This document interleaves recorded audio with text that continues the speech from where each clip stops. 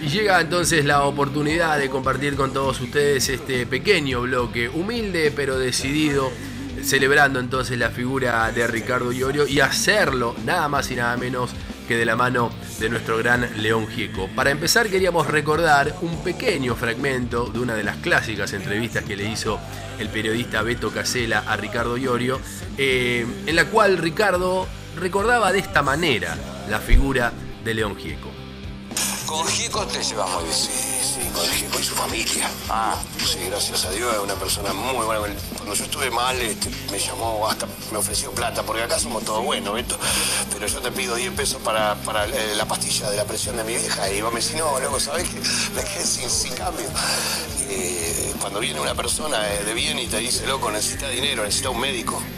Eso son cosas muy bonitas. Y después de escuchar estas sentidas palabras de Ricardo Iorio, no solamente para con León, sino también por supuesto para con toda su familia, llega el momento esperado, que es dejar en boca de León, del mismísimo León Gieco, que nos cuente casi que cronológicamente cómo fue su relación con la mítica figura del heavy nacional, Ricardo Iorio. Bueno, a mí eh, quien me hizo conocer a Ricardo Iorio fue mi hija, Giovanna. Era chiquita y de pronto veo que empieza ella escuchar, aparte de las músicas que ella más o menos había escuchado, como las canciones nuestras, de Ushuaia a Quiaca, porque en realidad de Ushuaia a Quiaca, eh, cuando nosotros lo hicimos, ella se quedó muy prendada con Leda Valladares y las bagualas y todo eso, ¿no? Hablo de, de Giovanna, mi hija más chica, que es tecladista. Y ella en un momento empezó a escuchar a Metallica y bueno, empezó a escuchar eh, música heavy y, y en un momento eh, empieza a escuchar a Iorio. Y no solamente pasa eso, sino que en un momento se hace amiga de la hija de Ricardo Iorio. Entonces, eso fue un contacto como para que de pronto este, yo lo, lo, lo- escuche, eh, ¿no? me pareció muy interesante siempre, eh, y, lo invité a cantar en, en una canción que se llama El Embudo. En realidad, eh, el embudo es una, una grabación muy jugada porque mezclé ahí a varios, pero en especial a Mercedes Sosa y a Iorio, ¿no? Está Moyo, la base de, Divi- de Divididos, ¿no? La base de Divididos. Eh, está Moyo cantando, Chizo de la Renga, Gustavo Santolaya, eh, Iván Noble. A ver quién más, quién más, quién más, quién más. Bueno, yo, eh, Iorio y Mercedes. Ahí están todos, estamos todos.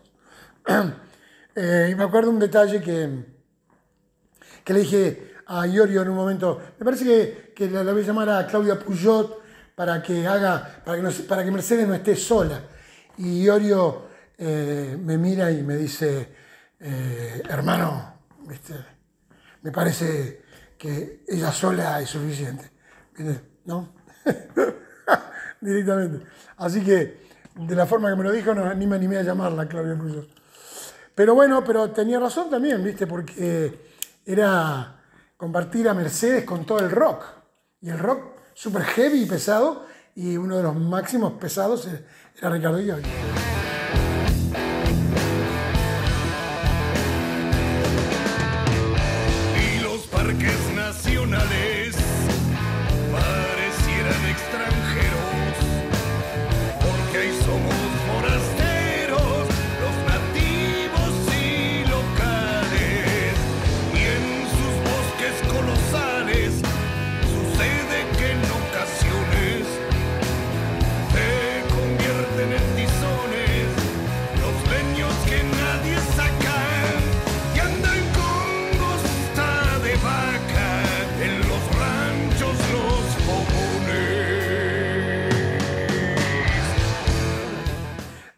Él me invitó a cantar eh, Río Paraná.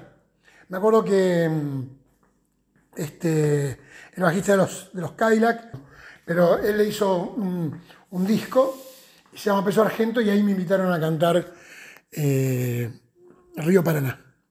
Después tocamos juntos en varios, en varios lugares, tocamos eh, este, en varios, por lo, menos cuatro o cinco festivales, digamos. Tal vez arrastre hasta la orilla la corriente esta canción que yo te canto desde el puente. Cuando me voy a la provincia de Entre Ríos, en canción te lo digo. Paraná, Río Argentino.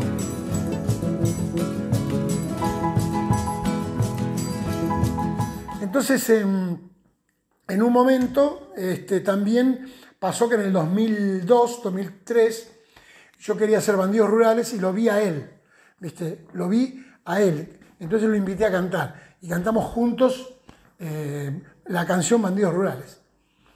Este, y está buenísima porque él le da, porque yo no lo puse como solista, lo puse como, como coro conmigo y le da una polenta, un agarre, en realidad la letra, cuando, eh, cuando, cuando canta él, hay que descubrirlo, ¿no?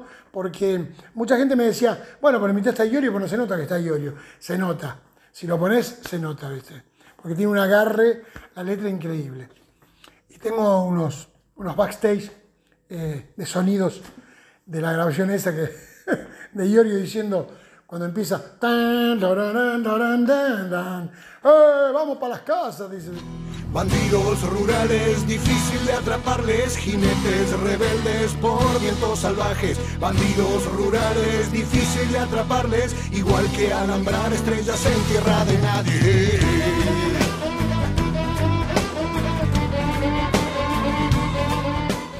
Bueno, y después este, mm, lo que pasó fue que, que con el tiempo eh, Joan empezó a tocar música heavy y, él la invitó junto a Karina Alfi, que es una gran guitarrista, una excelente guitarrista.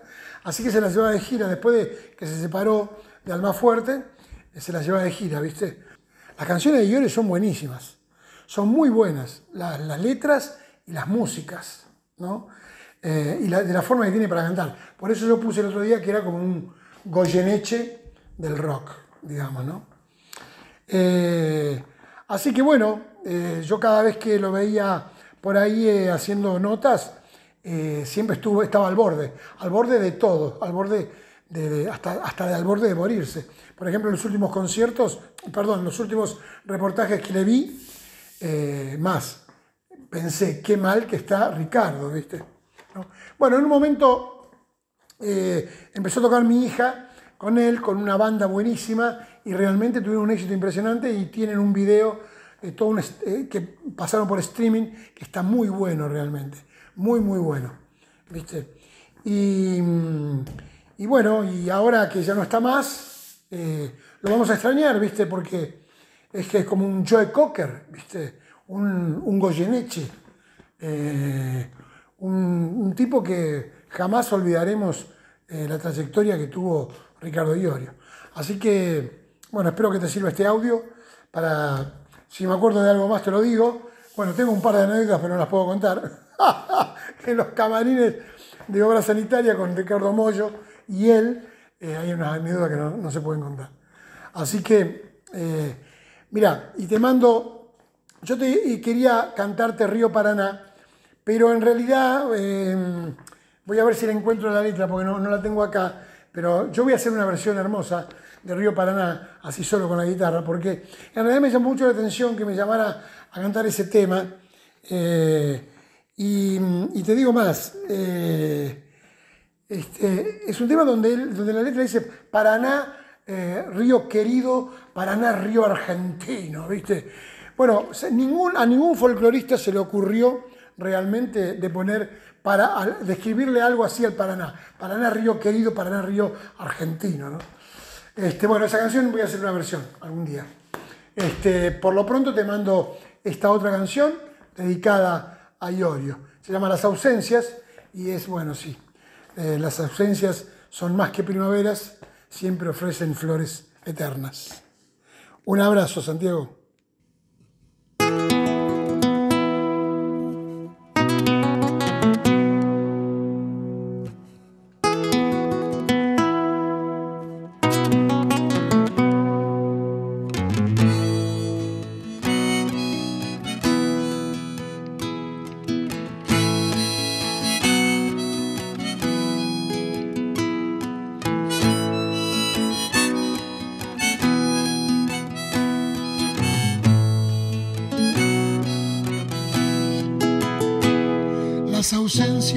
Son más que primaveras, siempre ofrecen flores eternas.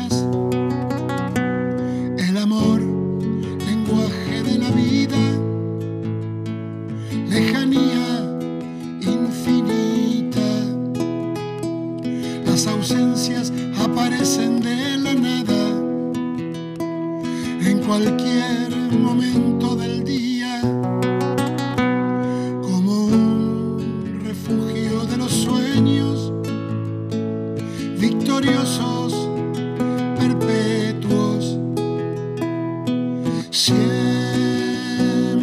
presentes como el aire al respirar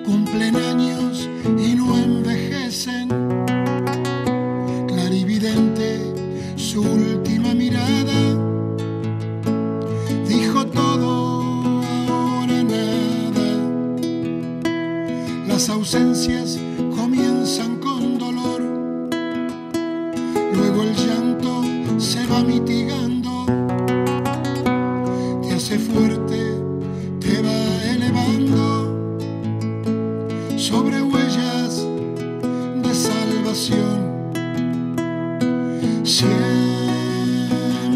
presentes como el aire al respirar.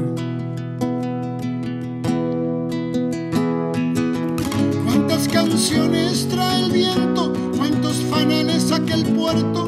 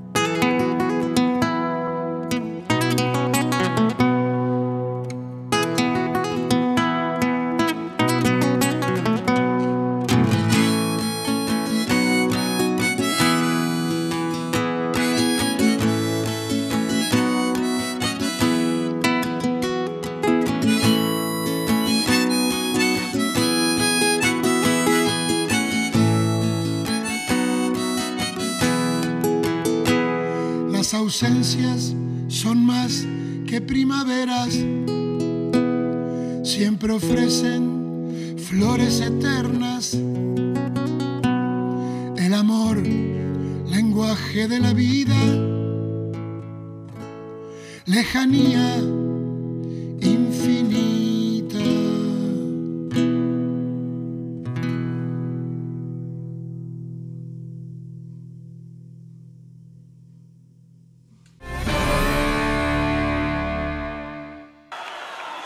Hay un rumbo, muchachada, para mí.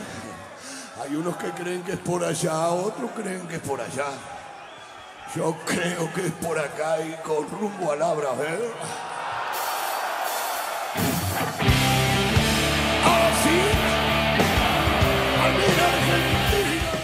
Hace unos años, la revista Rolling Stone decía que Ricardo Iorio parecía capaz de todo, de las declaraciones más inde- indefendibles a la sensibilidad más profunda.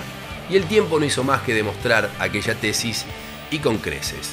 Iorio es una lud y como tal no tiene moral, simplemente es, contaba el suplemento sí, quitándole responsabilidad sobre muchos de sus dichos, porque por más recursos estéticos y metafóricos que se quisieran encontrar, Iorio fue un ser humano y no una piedra ni una incontenible fuerza de la naturaleza. Sí puede decirse que en su momento la intensidad de Iorio, ícono supremo del heavy nacional, arrastró y que más allá de lo que se pensara de él, fue ante todo parte del multitudinario, extraño, contradictorio y estimulante planeta rock argentino. Iorio es rock y desde esa plataforma se ha despachado con exabruptos y barbaridades, seguía la revista Rolling Stone, para después afirmar, a modo de prueba irrefutable, que también hay que reconocerle a él una frase de las más lúcidas que pueda decir un músico local. El que crea que el rock es de izquierda se equivoca. Esta es una buena manera de empezar la merecida celebración a Ricardo Iorio, heredero y señor del heavy del folclore eléctrico, poeta del sur, destilado de Larralde y Facundo Cabral, estudioso lector, argentino cabal, como diría Calamaro, a pocos días entonces de su lastimosa partida. En el repertorio de reflexiones y pensamientos de Ricardo Iorio hay muchas, muchísimas que serán siempre catalogadas de lúcidas, justas y necesarias, porque entre tanto exabrupto televisado, entre tanta idea fascistoide convenientemente magnificada por los medios, fijémonos lo que contaba cuando le preguntaban por qué, entre tantas canciones de Papo, eligió Solitario Juan para su disco Ayer Deseo, Hoy Realidad. Porque Juan es el pueblo, diría el entonces líder de Alma Fuerte. Y yo leo eso en esa canción. A veces uno cree que la libertad es cara o que uno está lejos de encontrar la paz y lo cierto es que la paz depende de uno. Y atención acá, mucha atención porque esta última definición se relaciona mucho con las sierras alejadas en las que Iorio eligió vivir. Él de chico quiso vivir donde vivió durante buena parte de su vida, en Sierra de la Ventana, allá en la provincia de Buenos Aires. Y de grande, aunque tenía las ganas de más, de irse más lejos, cumplió aquel anhelo. ¿A dónde le hubiese gustado irse a vivir a Iorio? Al desierto puntano, diría él, a buscar agua para deprimir aún más a los amigos que creían que ya me había ido demasiado lejos. Eso lo decía más de una oportunidad Ricardo Iorio. Y aquí, para cerrar, invito a que nos permitamos leer lo que sigue, porque es una genialidad, una posta tremenda que nos regalará por siempre Ricardo Iorio, una verdad digna de ser recordada. Me dicen, vos te vas al campo para escaparte de la sociedad. No, amigo, la sociedad se escapa del campo para ir a la ciudad, para evitar el magnetismo espiritual del daño y del beneficio. Iorio fue, en rigor, capaz de todo, de las declaraciones más indefendibles a la sensibilidad más profunda, pero quizás, ante todo, fue capaz de vivir en sintonía con sus ideas y de representar en sus versos, como también dijera con alta lucidez Calamaro, la más pura argentina rockera y en su canto el oxidado cuero del alma argentina.